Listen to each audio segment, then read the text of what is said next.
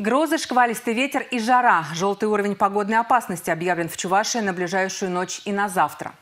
На большей части территории республики температура воздуха днем будет доходить до 32 градусов в тени, что выше климатической нормы на 2 градуса.